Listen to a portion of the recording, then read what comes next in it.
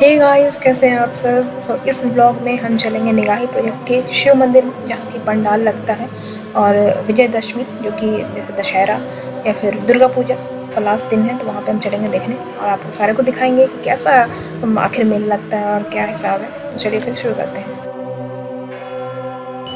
Hey guys कैसे हैं आप सब? Welcome back to my channel is Shilpa Saroj कैसे हैं आप सब? सो so, आज जो है इस ब्लॉग में हम में हम चलेंगे शिव मंदिर, जो कि निगाही प्रोजेक्ट में है। तो आज बहुत अच्छा मंदिर पर सजा हुआ है, चलो आपको दिखाएँगे। न्यू शॉपिंग सेंटर के जस्ट बगल में है, ठीक है? निगाही प्रोजेक्ट पे तो देख रहे हैं आप उधर पीछे, वहीं चलेंगे अब वहाँ पर मंदिर हुआ तो अभी चलते हैं उधर, ठीक है? तो दिखाते हैं आप कैसा है। चलिए फिर शुरू करते हैं वीडियो को। लेट्स गेट स्टार्टेड जैसे कि आप देख पा रहे हैं, यहाँ पे बहुत सारे लोग देख सकते हैं आप यहाँ पे निगाही प्रोजेक्ट में, जो भी यहाँ लोकल के होंगे। उसमें बहुत सारे लोगों को दिखेंगे, भी उनके फैमिली फ्रेंड्स रिलेटिव तो सबको देख सकते हैं आप, कोई ना कोई वीडियो में आपको दिखेगा ज़रूर। दुर्गा पूजा और दशहरा आखिर क्यों मनाया जाता है, ये चीज़ जानना आपके लिए बहुत ही ज़्यादा ज़रूरी है। और मेले के साथ साथ हम ये भी समझेंगे कि आखिर क्यों मनाया जाता है दुर्गा पूजा और विजयदशमी। चलिए देखते प्रत्येक वर्ष शारदीय नवरात्र के खत्म होते ही दशहरे का पर्व मनाया जाता है। तो वहीं धार्मिक मान्यताओं के अनुसार विजयदशमी के नाम से भी जाना जाता है। हिंदू धर्म के ग्रंथों व शास्त्रों से वर्णन मिलता है कि इस दिन श्री राम ने रावण का वध कर उस पर विजय प्राप्त की थी। इस कारण देश के कोने कोने में लोग रावण दहन की बुराई पर अच्छाई की विजय का झंडा लहराते हैं। इसके अलावा बता दें कि चूँकि इस शारदीय नवरात्र का पर्व समाप्त तो होता है, इसलिए दशहरे के दिन देवी दुर्गा की प्रतिमा का विसर्जन किया जाता है। कुछ लोग इसे दशहरे के नाम से जानते हैं तो कुछ लोग दशहरा कहते हैं, मगर इस दिन को दो नामों से जाना जाता है।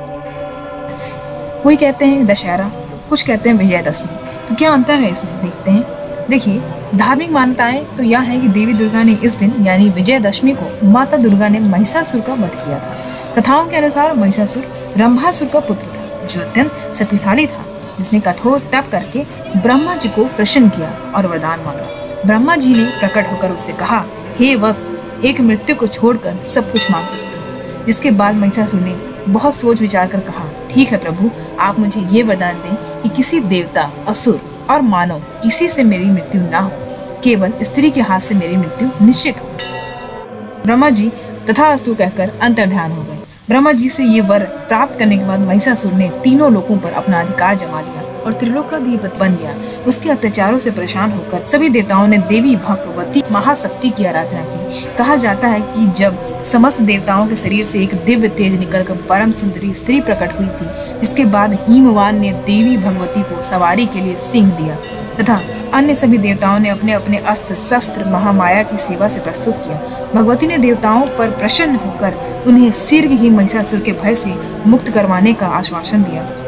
कथाओं के अनुसार देवी माँ ने पूरे नौ दिन लगातार महिषासुर से युद्ध करने के बाद दसवें दिन उसका वध कर दिया। मान्यता यह है कि इसी उपलक्ष्य में विजयदशमी का उत्सव मनाया जाता है। बता दें, कथाओं में वर्णन मिलता है कि महिषासुर एक असुर अर्थात दैत था, राक्षस नहीं। इसके अलावा विजयदशमी के दिन ही प्रभु श्री राम और रावण का युद्ध कई दिनों तक चलने के बाद समाप्त हुआ था। श्री राम ने रावण का वध करके देवी सीता को उसके जंगू से छुड़ाया था। जिसके उपलक्ष्य में दशहरे का पर्व मनाया जाता है।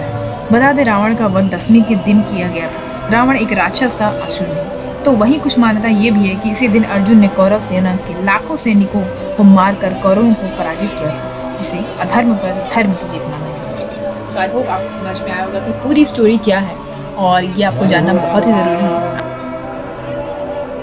तो देखिए, माता की बहुत ही सुंदर प्रतिमा है और बहुत ही सुंदर लग रही माता, और इस तरीके से आप दर्शन कर सकते हैं। बहुत ही सुंदर है।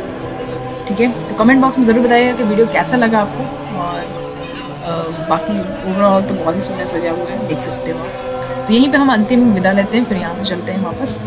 ठीक है? जैसा कि आप लास्ट मोमेंट पे देख सकते हो, बहुत ही सुंदर सजा हुआ है। चलिए फिर आज के लिए इतना ही। इसी तरीके से हम इंटरेस्टिंग वीडियो लाते रहते हैं। मिलते हैं अगले वीडियो में। तब तक के लिए ध्यान रखिए। Thank you so much for watching